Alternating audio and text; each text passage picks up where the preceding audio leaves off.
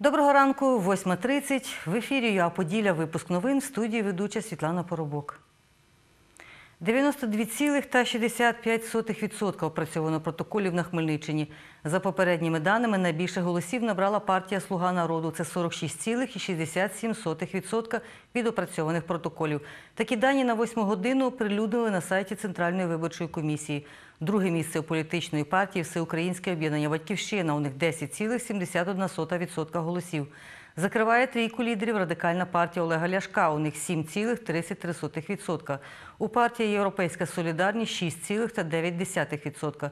В опозиційного блоку за життя 5,36%.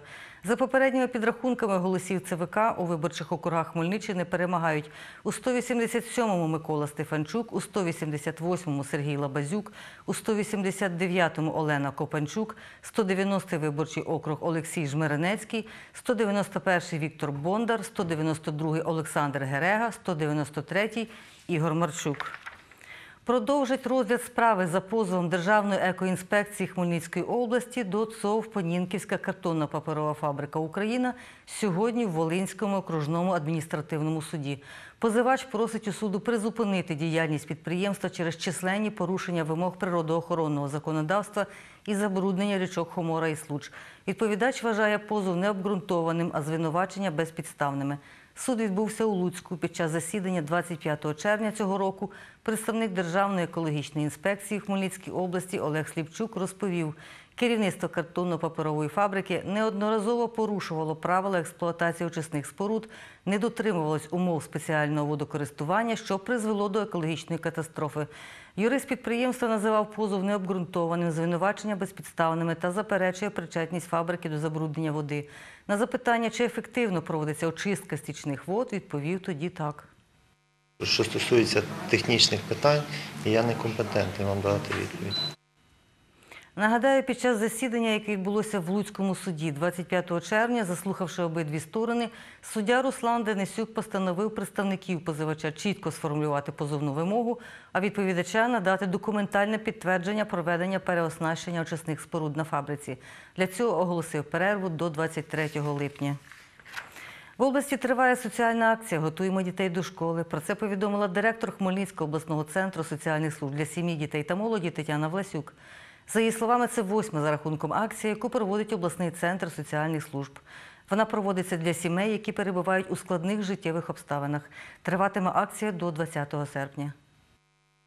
Сюди ми відносимо сім'ї і багатодітні, і там, де мама виховує одна, одинокі матері виховують діток, де є ем, сім'ї учасників АТО, внутрішніх переселенців, де є батьків інвалідизація або навпаки дітки є інваліди.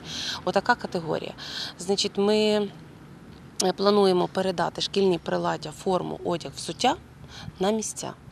Якщо є бажаючі долучитися до цієї акції, ми з радістю приймемо їхні, як то кажуть, е, речі, їхні бажання і сподіваємося на подальшу співпрацю в даному напрямку. Нагадаю, на Хмельниччині 3641 родина має статус перебувають в складних життєвих обставинах. І в цих сім'ях виховується 6661 дитина. Під соціальним супроводом соціальних служб перебуває 1247 родин. Всеукраїнський фестиваль Гальчевський фест вперше відбудеться під відкритим небом у Хмельницькому. Захід триватиме два дні 26 і 27 липня на двох локаціях у молодіжному парку і виставковій залі школи образотворчого та декоративно-прикладного мистецтва. Про це повідомив засновник фестивалю Гальчевський фест Валерій Гладунець. Будуть кобзарські концерти, ярмарка, фудкорти. Ми плануємо. Плануємо виставку військової техніки. Дуже багато виставок різноманітних. Тут буде виставка українські військові діячі, саме української революції, часів УНР української армії.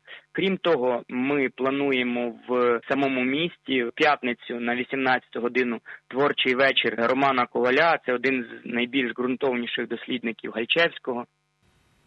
Валерій Гладунець додає, більш детальну, детальну інформацію про фестиваль можна дізнатися на офіційній сторінці Хмельницької міської ради або в соціальних мережах. Наш випуск завершено. Мені настав час сказати вам до побачення до 13.30.